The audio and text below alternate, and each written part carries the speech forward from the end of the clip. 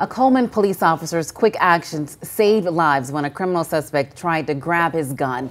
WAAY 31's Marie Waxel with the story behind this video showing a very dangerous situation. This all started with what's considered a routine transport to the jail. Take a look. You can see two officers escorting the handcuffed man. They get to a door and the officer tries to use a key card when John Robert Harville makes a move to get the officer's gun. Uh, when they went to open the door, uh, Harville tried to grab his gun. In fact, you see he gets his actual hands on the gun.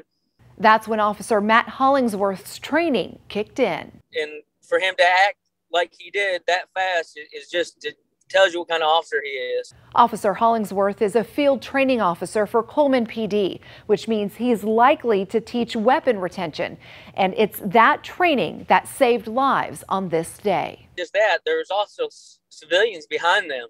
And so if he would have got a hold of the gun and just started, especially with his hands behind his back, just started shooting, uh, he could have shot every one of them as well. You can see Hollingsworth quickly got Harville back under control. He was then carried into jail for his probation violation.